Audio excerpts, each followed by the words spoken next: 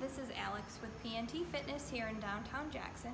Jackson County is a great destination for fall biking because we have great trails like the Falling Waters Trail and the Mike Levine Trail. You can go out there, see beautiful fall colors, just dress for the cool weather. Here in, at P & T Fitness, we have great stuff that we can get you going.